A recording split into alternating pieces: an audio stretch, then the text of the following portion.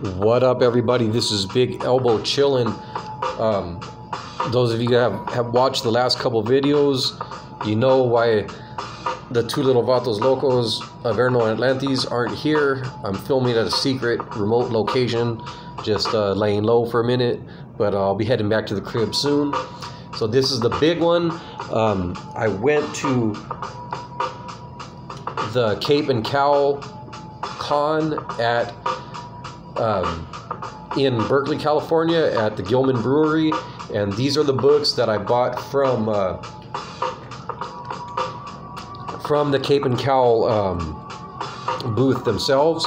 Um, so let's get right into it. I'm gonna start with my indie shit. So I got these were all dollar books. I got about 35, 36 of them for 25 bucks. I just brought the stack up, and uh, that, that's the way to do it. A lot of, with these at these things, like if you're getting a, getting a big ass stack, they don't really even want to sit there and count it. So just make I, I, that's what I do. I'll just make them offer. be like, hey, will you take 25 on this? And they were like, yeah, fuck it, cool. They didn't want to sit there counting books. So, anyways, uh, those of you who know me know my I'm on my Aircel shit, Warlock Five. Um, I love these 80s black and uh, black and white comics, especially Aircel. Unfortunately, this isn't uh, Dennis Bo- Beauvais or whatever his name is isn't on the art anymore. It's uh, penciled by Patrick McEwen and inked by Jim Somerville. So it doesn't look as good as the Beauvais stuff. Some of you guys might know um, might know uh, Jim Somerville from like work that he did on Aliens comics. But it's um, it doesn't look bad, I guess. It's just not as good as I don't think it's as good as the other stuff. But anyways, so uh, there's that Warlock Warlock Five number fifteen, uh, Enchanter number two of eight, but they actually only did three issues. Um, so this is book here is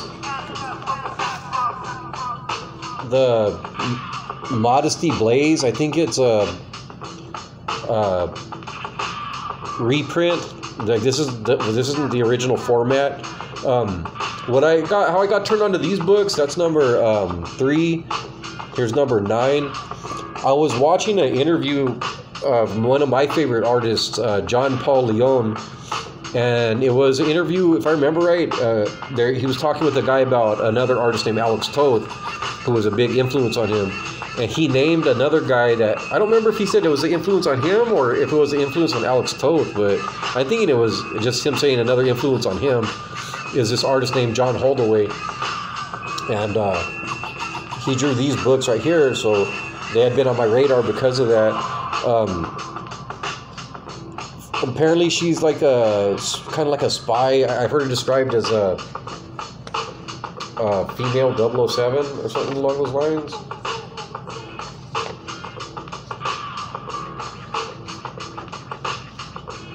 But yeah, I can see the similarity to to an Alex Toth or John Paul Leon. Like they're able to, in a very like simple simplified style, I guess. Like you don't see, there's not a whole shitload of lines, but you can still like the people look very. Uh, it looks very realistic with very few fucking lines, and I, I just I appreciate that shit. Like I, am a fan of Alex Toth also for those reasons. Like they just do the most with uh, make it look easy, you know. So yeah, uh, so I got three issues of that. A big gap though, like a nine ten. At least those two are in a row, but from number three all the way to nine. But yeah, those are just for the art, anyways. Um, I found a copy of New York City Outlaws, just some um, indie shit that I've al- I've always heard was good. Kind of doing that um, black, white, and red style before it was a thing. Well, I guess they have like the skin tone too, but I, I just think that looks cool. I have another issue of this book. I don't know what what issue it is though, but that's number two. I don't think what I have is the number one. Uh, Roachmill, that's just run filler. Uh, Blackthorne Publishing. Um, yeah, Blackthorne Publishing. I think that was the last issue that I needed. Again, that's just that 80s black and white shit. That um, means so much to me. I was a, I'm a big fan of that stuff. I was a young, impressionable lad when that at that time when that stuff was coming out, and you know where I lived, we didn't really have access to that stuff. But when we go visit my mom uh, up in Northern California in the summers, you know that's when we got turned on to that kind of shit. You know, at that time, aside from uh, maybe like the stupid. Um, like Donald Duck and Richie Rich, Archie, that kind of shit. I had never seen any um, non Marvel or DC superhero comics. So, speaking of which, uh, Grips, that's the Greater Mercury though, not the Silver Wolf. But I'm I'm still putting that shit together. Um, it's not Tim Vigil art, but it's still pretty good, man. Like it still looks pretty cool to me. I'm not sure who the artist is, but it's not bad.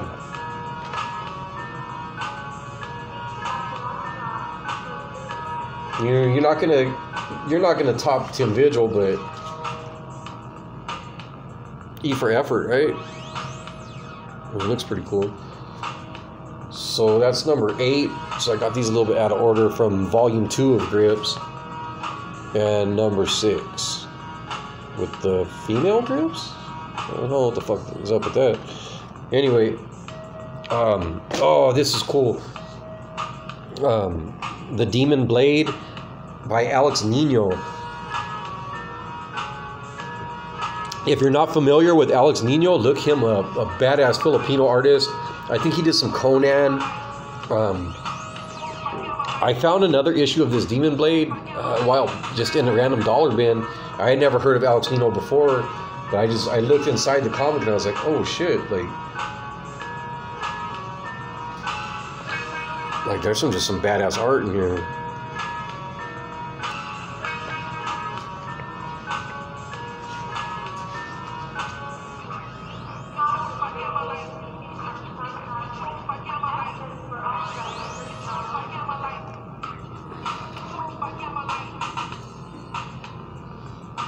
Yeah, I mean this shit is just fucking dope, man. I don't think he does. Um, he doesn't really work in comics anymore.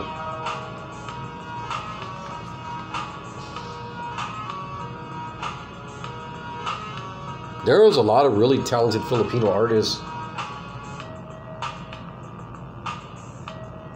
that I don't think really got their due. But yeah, so that that I was happy to find that. Uh, another um, one I was happy to find was uh, Silverback number three. This is a mini series about uh, his name Arden or Argent, the wolf that's always fighting with Grendel. John Peck on the art. Shout out to my man Warlock who put me onto this series. I didn't even know it was a thing. So again, these are all less than a dollar, man. I, I was really happy. Uh, Six Gun Heroes. You know, this is one of those things where if it was bagged, I wouldn't have bought it. But since it wasn't bagged and I got to look inside of it, I just thought the art looked cool. And um, I, it's like an anthology.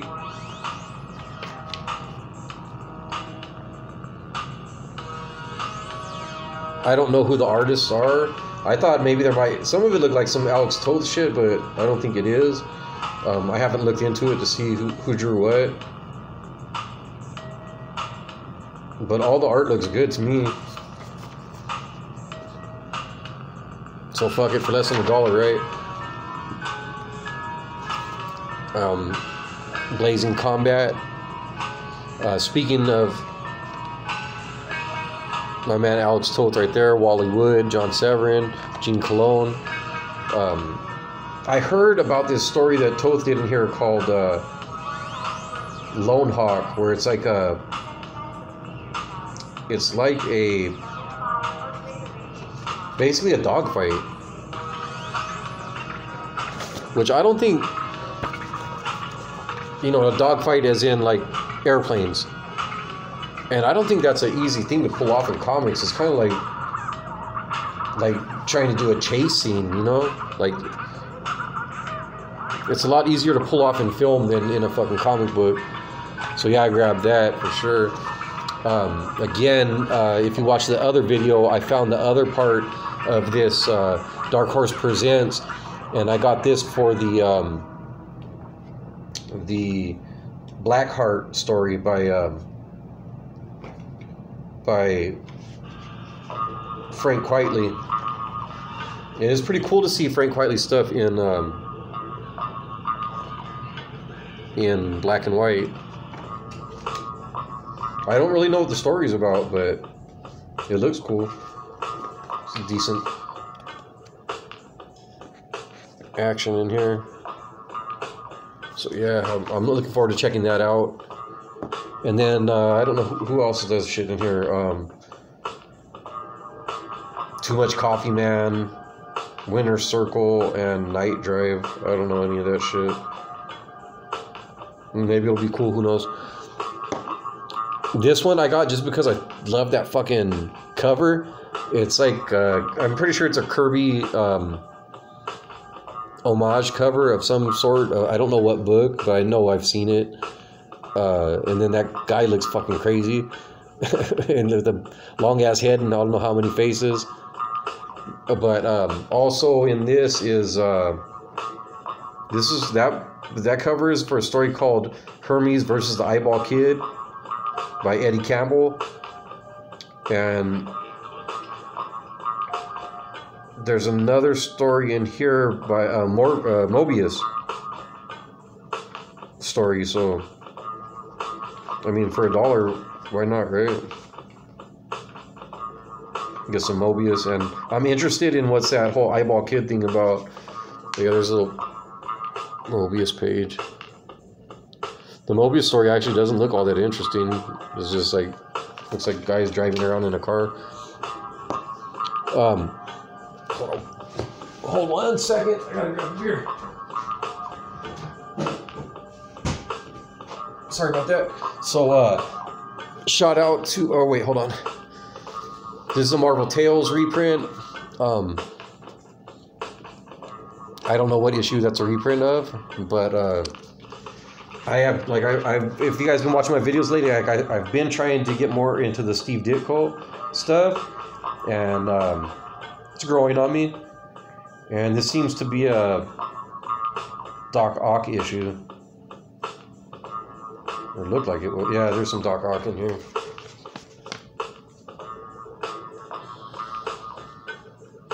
So yeah. Um, again for less than a dollar i'll grab those marvel tales are good reprints man they're they're fuck a facsimile like with that bullshit paper and 3.99 price so you get that for less than a dollar and it's on it looks more accurate to what the original comic looked like any damn ways um that's how i feel about those facsimiles anyways but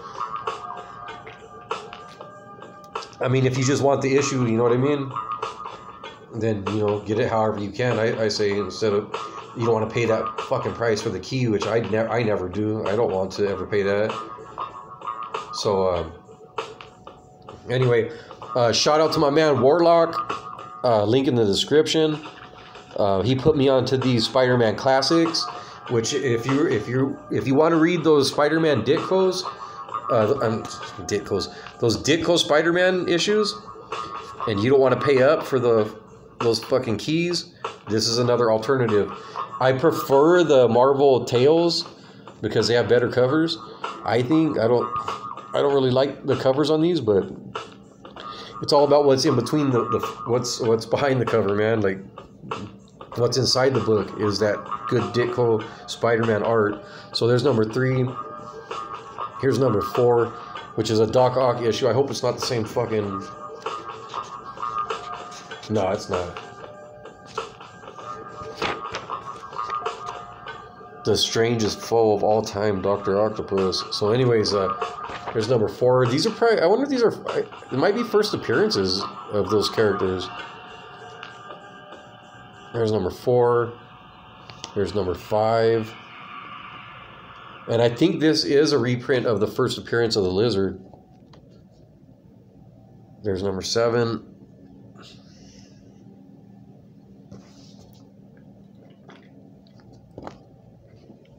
Here's number eight. The same person that you were back then. I get Yeah, yeah, whatever. Um, number 11 with the Enforcers. I have never read any issues with those guys, but they always seem cool to me. Uh, number 13, For me, being born without legs, technology has played a huge Number role in my 14. I have running legs that come And then this one, Japan have you and ever, get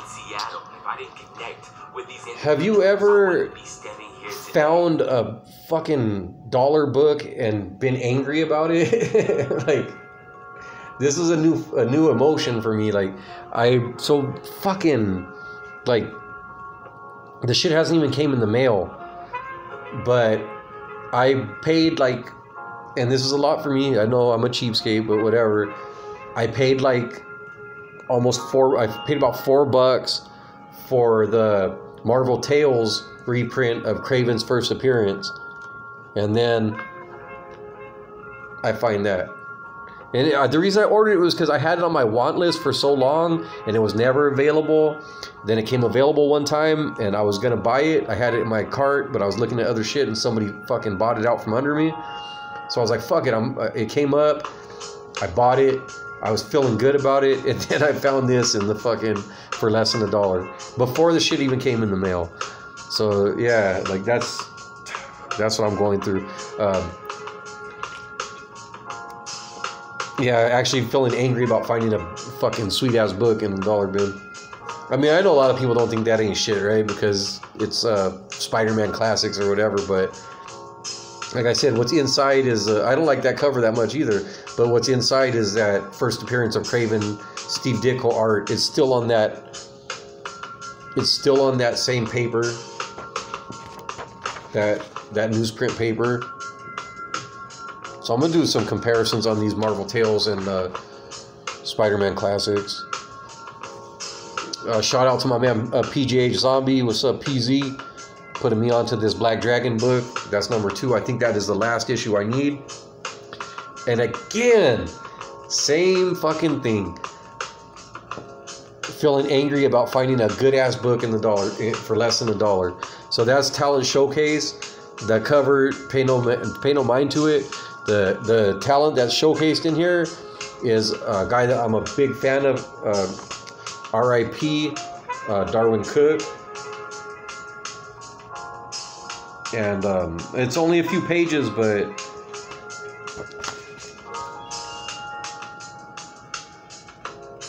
it's cool to have, right? And fucking, I I felt good about it. It was on my my want list forever. It was never available. It popped up. I bought it. I jumped on it for like fucking uh, almost four bucks, like three. With, the twenty five cents for shipping, it was like a little bit under four bucks. But fucking before it could even come in the mail, I find it in for less than a dollar. Mm. Anyway, so uh, on to some uh, DC, more DC stuff. Um, Sandman Mystery Theater. Um, what up to a new subscriber and a, uh, someone I have recently re- subscribed to in the last couple weeks, um, uh, Pope Grimy. Um, he had hit me in the comments about uh, something I said about. I was telling the story about how I always thought that this Sandman looked cool, the, the gas mask guy. And then when that other, like the emo Sandman or, or goth Sandman shit, I was like, hey, where the fuck is the guy with the ski with the uh, gas mask? Did I say ski mask for? Anyways, sorry, I, had a couple beers. Um, where's the guy with the gas mask? Like that's the guy that I thought looked cool. But anyways, so uh, this is number six. This is the beginning of a no, no, number five, which I already have, is the beginning of a new story, and um, I very into this uh, John Watkiss art. If you guys don't know John Watkiss, check him out. He, he does some good stuff. Like, I really like his. Uh, he's again like one of these like a kind of like a John Paul Leon. Um, you know, he like he spots the blacks. For, I like the way he spots the blacks and uses use of shadows and shit. I'm giving this series a second chance because I had some some issues of it. The uh, Guy Davis, who I'm a fan of his art, and honestly, the fucking the art was cool and everything, but the the fuck, the book was kind of boring. Um, so I'm giving this a second chance. It's a new story, a different story arc. So maybe this one will get me. Uh, there's number seven, and there's number eight, and then uh, so I already have number one of this, and I got out of a dollar bin as well. But um, World's Finest. I think these have back covers too. Oh yeah, okay.